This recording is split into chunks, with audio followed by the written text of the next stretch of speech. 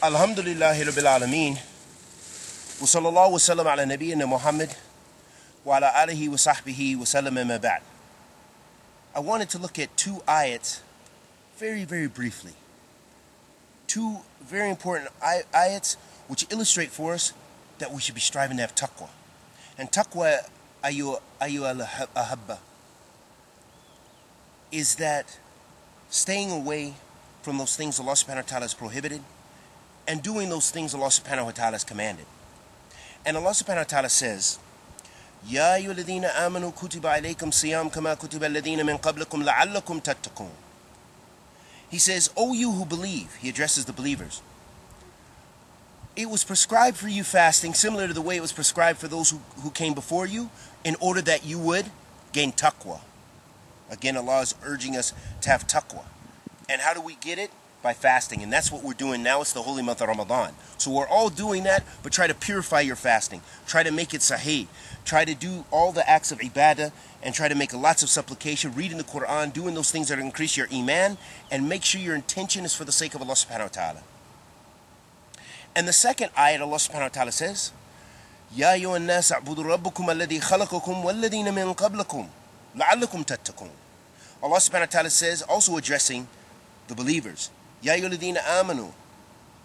Ya Yulad, uh, Allah subhanahu wa ta'ala addresses uh, Allah subhanahu wa ta'ala addresses all of mankind, not the believers in this ayat.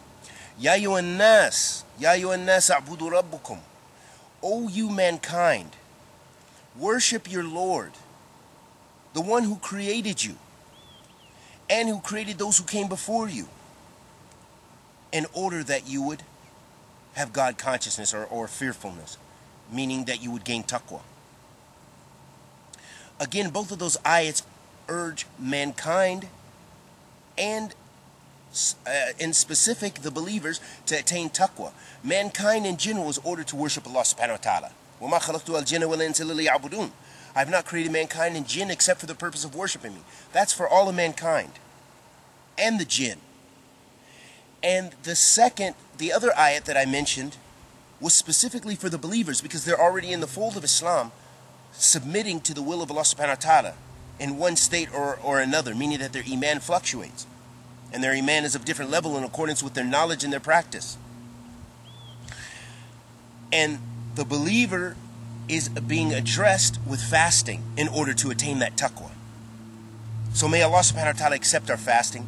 May Allah subhanahu wa ta'ala forgive us of our sins. May Allah subhanahu wa ta'ala bless us with Jannah Firdaus. May Allah subhanahu wa ta'ala look over all of, overlook all of our faults and bless the Muslims to move away from bid'ah and away from kufr and away from hypocrisy and away from all those sins and things that Allah subhanahu wa ta'ala hates. And may Allah bless us to do those things which He loves subhanahu wa ta'ala. Wa sallallahu wa sallam ala Muhammad wa ala alihi wa sahbihi wa sallam.